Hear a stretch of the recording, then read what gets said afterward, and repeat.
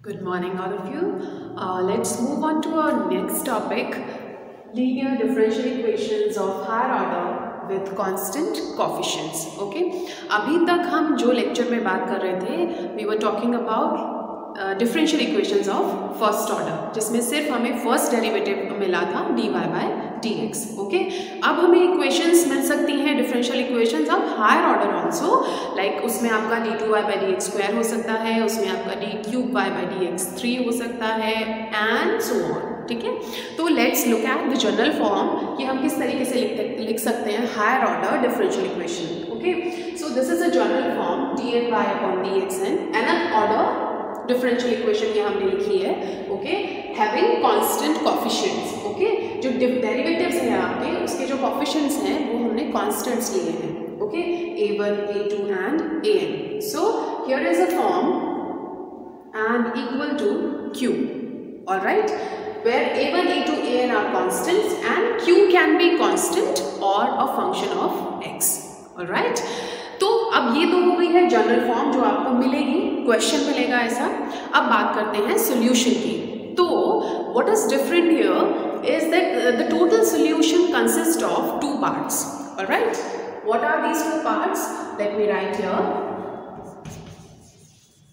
total solution will will be equal to equal to CF plus PI. Alright, what is CF? CF is complementary function.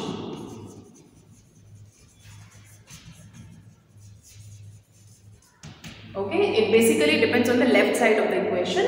And what is PI? PI is particular integral. Okay. So in short we write it as CF and PI. So uh, अगर हमें किसी भी higher order linear differential equation का solution निकालना है तो हमें दो पार्ट्स फाइंड आउट करने हैं C F as well as P I और राइट कि if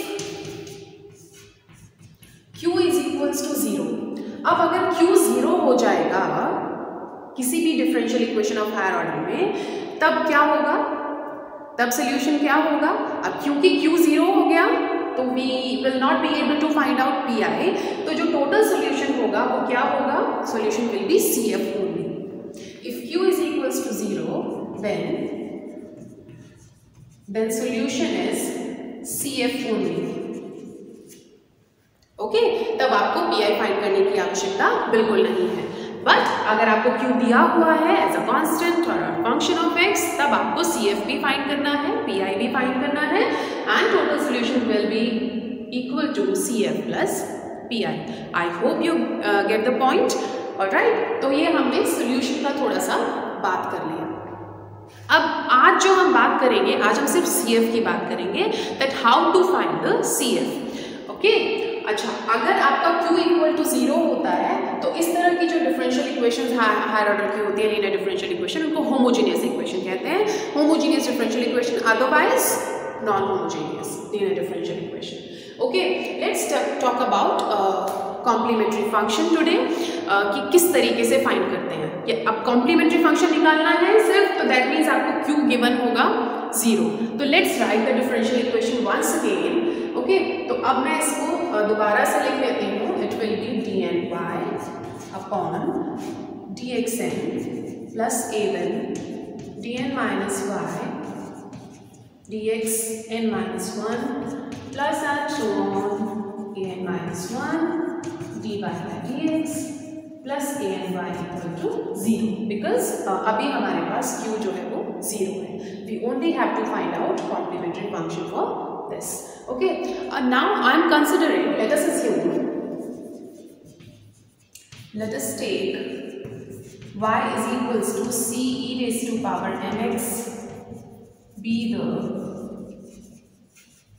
solution of equation. Let me take this equation number 1 and this is equation number 2 okay तो मैं ये सपोज़ कर रही हूँ कि y बराबर c into E raise to power M X be the solution of equation number two अब अगर ये इसका सोल्यूशन है तो ये इसको सेटिस्फाई करना चाहिए। Okay let me differentiate it number of times तो सबसे पहले अगर मैं इसको डिफ्रेंशिएट करती हूँ तो I can find out the value of D Y by D X it will be C power mx again again it. Find second order derivative then what will it be cm square e raised to power mx okay third derivative cm cube e raised to power mx and so on आप इस तरीके से बहुत सारे आप derivatives find कर सकते हैं ठीक है एनथ डेरिवेटिव तक और right now I am putting the value now substituting these values in equation number two value put करेंगे आप सब में C E raise to power M X आपका कॉमन है तो I can take this out C E raise to power M X और अंदर आपका आ जाएगा, क्योंकि ये आपका क्या आ रहा है? M M square M cube last में आपका M raise to power N आएगा तो it will be M raise to power N plus A one M raise to power N minus one plus A two M raise to power N minus two and so on last में आपके पास आ जाएगा okay and equal to 0. y equal to c e raised to power mx will be the solution of equation 2 if m is the root of AE. What is this AE? I am telling this ये जो आपकी algebraic equation अंदर आई है bracket में आप देख रहे हैं एम की फॉर्म में जो अंदर एक इक्वेशन आई है this is called auxiliary equation तो this is an important part जब हम क्वेश्चन करेंगे तो हमें ये ऑक्सिलरी इक्वेशन अपनी डिफरेंशियल इक्वेशन में से निकालनी पड़ेगी. तो this will be an important step तो यहीं से आपको रूट्स मिलेंगे एम की वैल्यूज़ मिलेंगी. ऑलराइट तो y बराबर c, m raise c e raise power mx will be the solution of this differential equation. Only when m is the root of this algebraic equation, okay? So, this is called auxiliary equation. तो किसी भी differential equation of higher order को अगर हम solve कर रहे हैं तो उसमें हमारा जो सबसे पहला स्टेप होगा कॉम्प्लीमेंट्री फ़ंक्शन फाइंड करने का। तो कॉम्प्लीमेंट्री फ़ंक्शन के लिए हमें सबसे पहले डिफरेंशियल इक्वेशन की ऑक्सिलरी इक्वेशन फाइंड करनी पड़ेगी। All right let's move ahead अब हमारा स्टेप ऑक्सिलरी इक्वेशन तक पहुँच गया है, आपने वो निकाल ली। आपने उसको फैक्टराइज किया और फैक्टराइज करने के बाद आपने एम की वैल्यूज़ निकाली, ठीक है? अब अब डिपेंड करता है सॉल्यूशन ऑन एम की वैल्यूज़ के ऊपर ऑल राइट तो इसमें आपकी चार डिफरेंट कंडीशन आती हैं जो हम डिस्कस करेंगे। First condition is if roots are real and different roots मतलब M values of M okay तो अगर आपके रूट्स रियल हैं और डिफरेंट हैं जो एम आपका आया है, वो संख्या वास्तविक है और अलग अलग है और राइट तब आपका सोल्यूशन क्या होगा? तब आपका सी एफ़ क्या होगा और राइट तो if let M one M two be roots of any linear differential equation.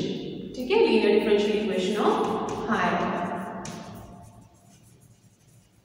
right right? तो अगर आपके ये दो रूट्स हैं, जो कि रियल हैं और डिफरेंट हैं then solution is given by by is equals to C one E raise to power M one X plus C two E raise to power M two X okay let me take an example मैं आपको एक छोटा सा example second order differential equation लेकर के समझाती हूँ. और फॉर एग्ज़ाम्पल आपके पास आया D square minus M square Y equal to zero मान लीजिए ये डिफरेंशियल इक्वेशन आपको दी हुई है. सेकेंड ऑर्डर का डिफरेंशियल इक्वेशन है. डी स्क्वायर मैंने लिया है.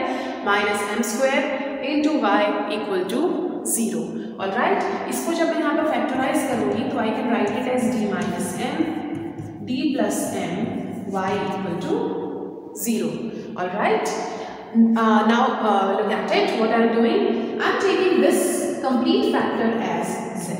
ध्यान से देखिए। मैंने इस फैक्टर को पूरा z ले लिया है। z लेने से क्या हुआ?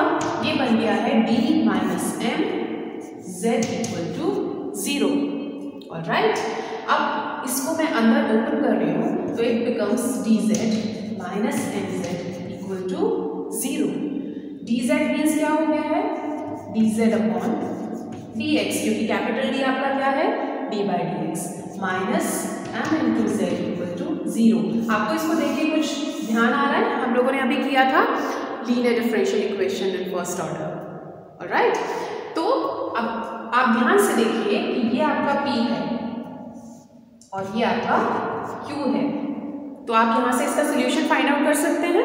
We can find out the solution so let's do it यहाँ से मैं इसका इंटीग्रेटिंग फैक्टर निकालूँगी। तो मेरा इंटीग्रेटिंग फैक्टर क्या आएगा? E raise to power P D X P आपका है माइनस का एम डी एक्स तो ये आपका आ गया E raise to power minus M X all right अब हम इसका सोल्यूशन निकाल लेते हैं। सोल्यूशन क्या था?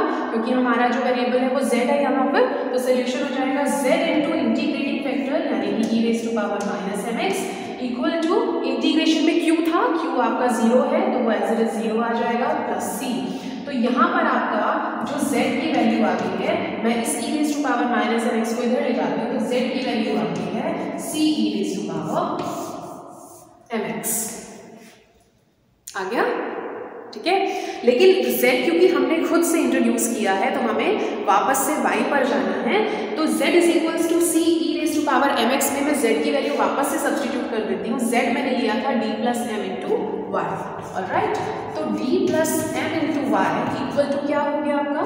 e raise to power M X got it अब again I am doing the same steps dy plus M Y equal to C E raise to power M X तो ये d क्या है? Capital D this is basically d by D X dy by dx plus my equal to c e raised to power mx. This is again your linear differential equation in first order, isn't it? ये आपका p हो गया है ये आपका q हो गया है Alright? तो आपका इंटीग्रेटिंग फैक्टर क्या आ गया integrating factor will be e raised to power m dx e raised to power mx. Now come to the solution. What will be the solution? y into integrating factor is equal to q आपका कितना है? C e raise to power M X ठीक है? Again e raise to power M X D X plus इसको मैं c1 ले लेती हूँ बिकॉज़ हम ऑलरेडी c यूज़ कर रहे हैं तो इसको हमने c1 ले लिया है. और राइट अब इसको सॉल्व कर देते हैं. It will become y e raise to power M X equal to c constant बाहर. e raise to power two M X है तो e raise to power two M X upon two M plus C one ठीक है? अब देखिए ये constant है c upon two M तो मैं इसको कुछ और कांस्टेंट ले लेती हूँ सी टू करके, ठीक है? क्योंकि सी वन हम ऑलरेडी ले चुके हैं। सी अपॉन टू में बहुत बड़ा कांस्टेंट हो जाएगा तो we can replace it by a single constant और E raise to power M X को मैं इधर लेकर के जा रही हूँ। तो मेरे पास क्या हो गया? y is equals to C two E raise to power M X plus C one E raise to power minus M X can you check isn't the same जो मैंने यहाँ पर आपके लिए लिखा? सेम है ना? तो अगर आपके कोई भी रियल और डिफरेंट रूट्स हैं तो आपका सोल्यूशन इस टाइप का होगा।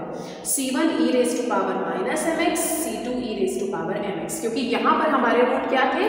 हमारा रूट था प्लस माइनस एम जो वैल्यू थी हमारे रूट्स की, वो थी प्लस माइनस एम तो सोल्यूशन आया C one E raise to power minus M X plus C two E raise to power M X तो ये हमारा एक जनरल फॉर्मेट है। कि अगर आपके ऑक्सिलरी इक्वेशन के रूट्स m1 m2 रियल और डिफरेंट है the solution will be y is equals to c1 e raised to power m1x plus c2 e raised to power m2x तो ये आपका कॉम्प्लीमेंट्री फ़ंक्शन हो जाएगा for this particular case okay let us discuss the next case now so my next case is if roots are real and equal अगर हमारे जो गुणनखंड आए हैं एम की जो वैल्यूज़ आई हैं, वो वास्तविक हैं और बराबर हैं। ऑल राइट तो लेट्स टेक तो हमारा सोल्यूशन क्या होगा?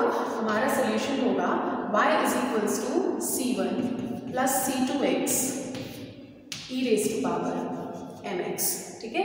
Where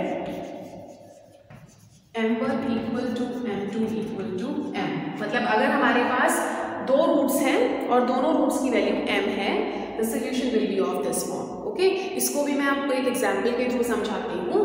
Let me take d minus M का whole square into Y equal to zero D minus M को मैं दो बार अलग अलग करके लिख लेती हूँ। इस पोर्शन को again I am taking Z और right D minus M Z equal to zero ठीक है? D minus M Z equal to zero आ गया। Again D z upon D X minus M Z equal to zero ठीक है? फिर से हम अपना इंटीग्रेटिंग फैक्टर निकालते हैं। तो इंटीग्रेटिंग फैक्टर आपका E raise to power minus का एम एक्स आएगा और सोल्यूशन आपका हो जाएगा z into E raise to power minus M X equal to C and z is equals to C E raise to power M X that's how we did it in the last example also ठीक है, अब आगे बढ़ते हैं। D minus M Y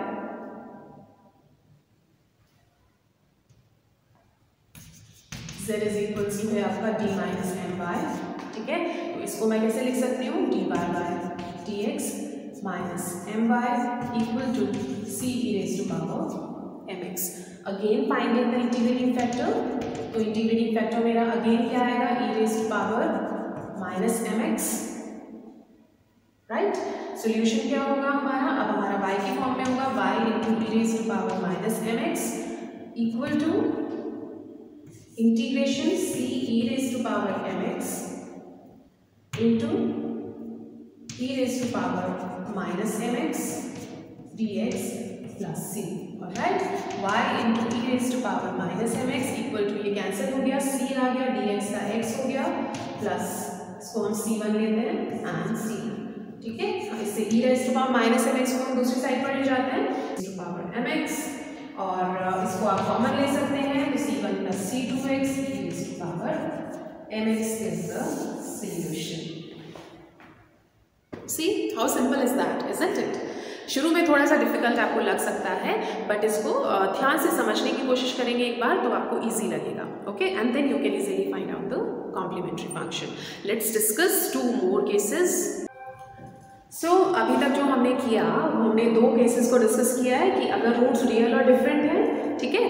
तो अगर जैसे M one M two M N आपके रूट्स आए हैं रियल हैं और अलग अलग हैं तो सिंपली आपको लिखना है C one E raise to power M one X plus C two E raise to power M two X and so अगर आपके रूट्स रियल और इक्वल हैं then you write it like this मान लीजिए आपके पास दो रूट्स हैं दोनों की वैल्यू एम है then you can write it as C one plus C two X bracket के अंदर E raise to power M X third condition is if roots are imaginary okay?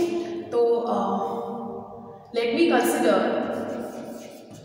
Let a plus i be the roots of a. Okay मान लेते हैं कि हमारे किसी auxiliary equation के roots हैं a plus I B that means M one आपका हो गया a प्लस आई बी और एम टू आपका हो गया है a माइनस आई बी तो हमारे डिफरेंट रूट्स हो गए तो हम डिफरेंट रूट वाला कंडीशन लगाते हैं। तो it will be y two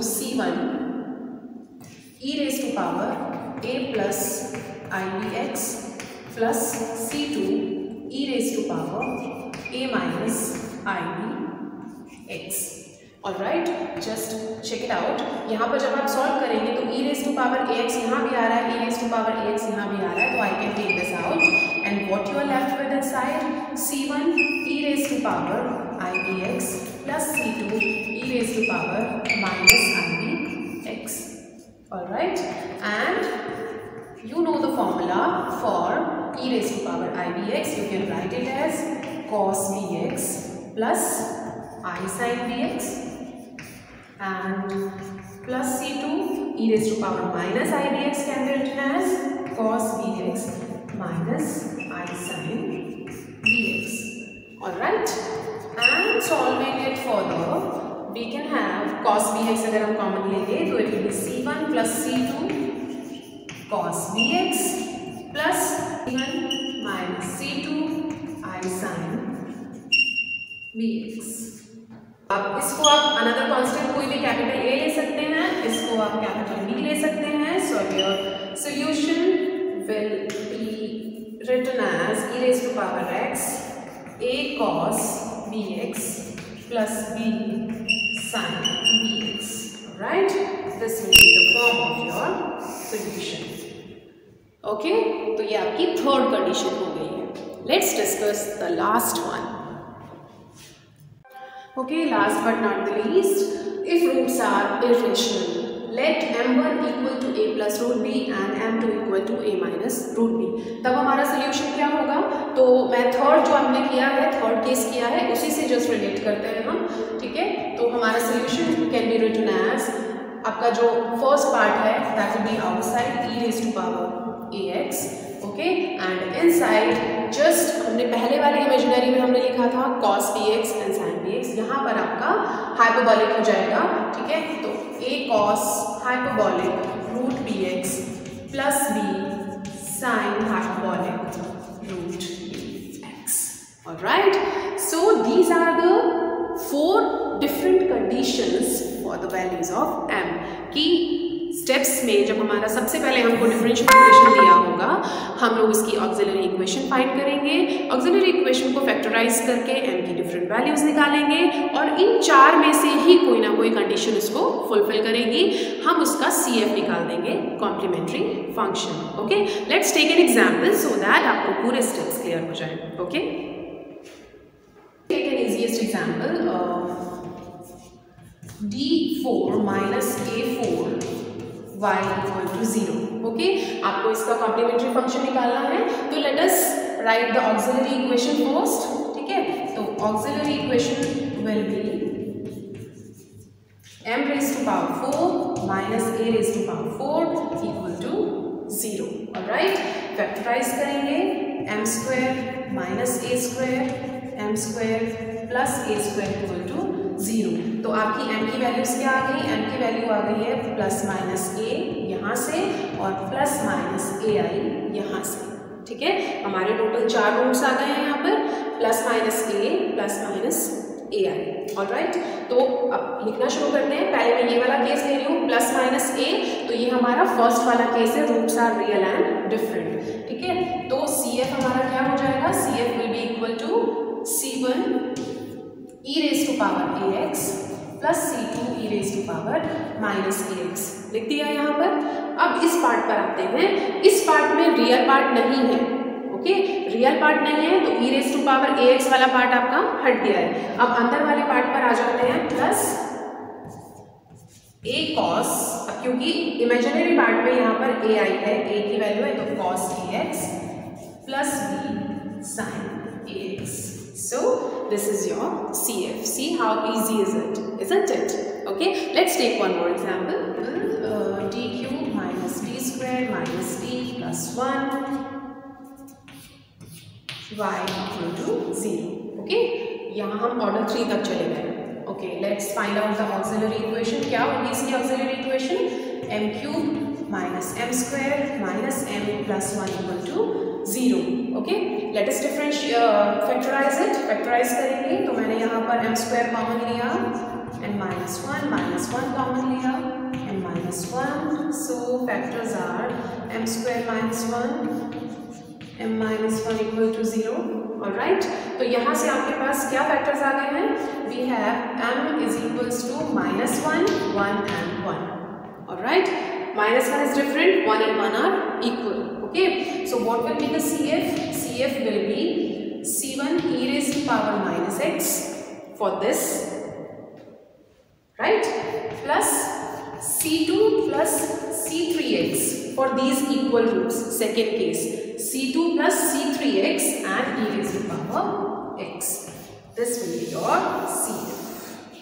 Got it तो आज हम लोगों ने जो कॉम्प्लीमेंट्री फ़ंक्शन निकालना सीखा, आज आप लोग उसी की प्रैक्टिस कीजिएगा। Do ten questions minimum so that आपको इसका कॉन्सेप्ट क्लियर हो जाए। परफेक्ट